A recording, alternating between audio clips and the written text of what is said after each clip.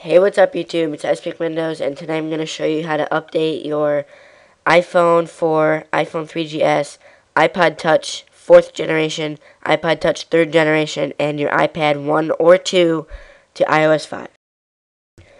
iOS 5 comes out next Wednesday, October 12th.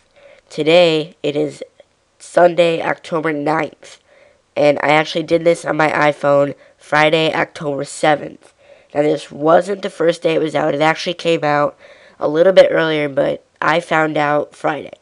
So, if you're watching this now, you are going to have the Gold Master of iOS 5. Now, what a Gold Master pretty much is, is what Apple is going to release to the public next Wednesday. So, you see right here it says the newest version is 4.3.5, but next Wednesday it'll say that the newest version is iOS 5. And if you look at my, oh, no, see right here, you can see on my phone, it is running 5.0.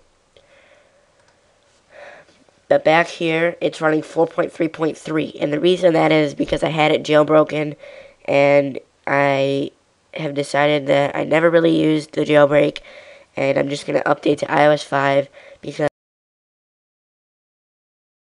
Now keep in mind that I am doing this on an iPad, but that does not mean that you cannot go to your iPhone and download the iOS 5 and do the same thing because the only thing that's different is what you're actually downloading from the website. So this does work for an iPhone and an iPod Touch. So all you're going to need to download from the website is iOS 5 and iTunes 10.5 beta.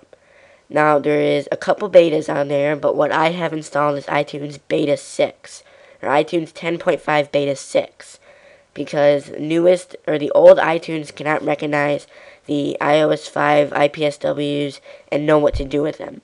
Now, you can update to them, but it doesn't do it correctly, and you won't have some of the features like Wi-Fi sync. So once you have iOS 5 and iTunes 10.5 installed, you need to connect your iDevice and go down and shift click restore. Now this is on Windows, so remember that. Don't click shift click shift click update because that gives you a different it'll give you an error code.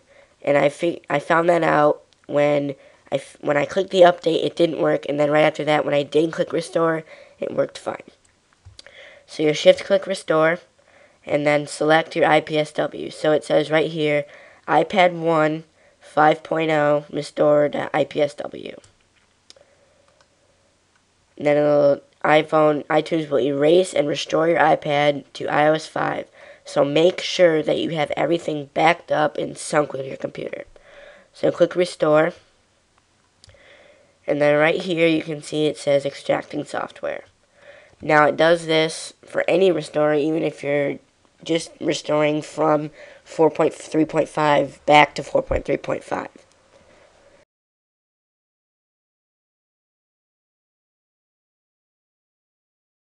So here it's verifying the iPad and preparing the iPad for restore. Back that, that was fast forwarded so it won't go that fast. But so now you'll get a bunch of sounds of your iPad or iPhone disconnecting from your computer and reconnecting to your computer. So right now it's just preparing it and this will be fast forwarded too so you're not going to have to sit through 10 minutes of watching that thing load. But right now basically my iPad just has a black screen and it is displaying different things. It's not like a jailbreak so it's not displaying like any code or anything. It's just through iTunes so it's all safe and so far there's been nothing to worry about. So right there it stopped. Now, this is fast forward.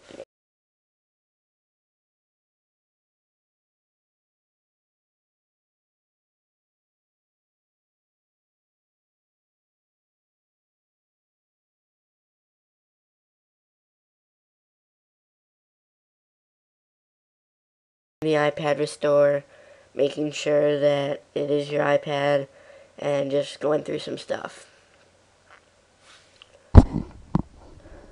The loading bar is almost done on the iPad, and then I think it goes to a second one. See, right now it got done with the first one. And if there is a second one, then I was right. And I like being right. It's gonna be cut out. La la la la. Now it is restoring the iPad firmware. As if you can't read that.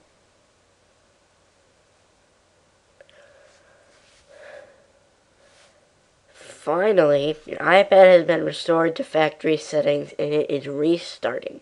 Please leave your iPad connected and it will appear in the iTunes window